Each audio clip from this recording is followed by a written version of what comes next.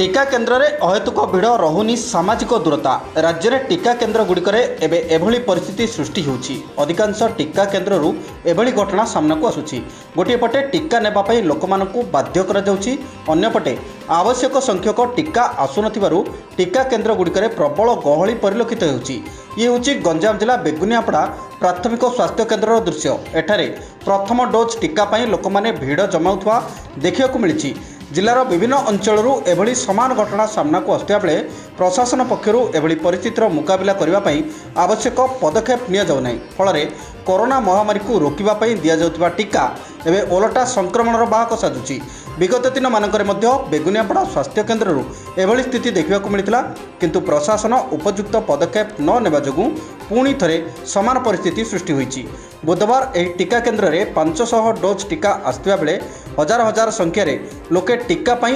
भिड़ लगे खरारे लोक लंबा लाइन लगी देखा मिलता बेले ठेलापेलें लोके एक प्रकार प्रतिजोगिता कर देखा मिली सर आपण doctor Sanjay Kumar Sahu medical officer Ayush କ'ଣ କହିବେ ଆପଣ ବେଗୁନିଆପଡ଼ା ସ୍ୱାସ୍ଥ୍ୟ କେନ୍ଦ୍ରରେ ଯେଉଁଭଳିଆ ଟୀକା ନେବା ପାଇଁ ଲୋକଙ୍କର ଦୌଡ଼ ଲାଗିଛି ଏଭଳି ଗହଳି ଲାଗିଛି ସେଥିରେ ନିଶ୍ଚିତ ଭାବେ କରୋନା ସଂକ୍ରମଣ ହେବାର ମଧ୍ୟ ଆଶଙ୍କା କରାଯାଉଛି ଆକୁ ନେଇ କ'ଣ କହିବେ ନିହାତି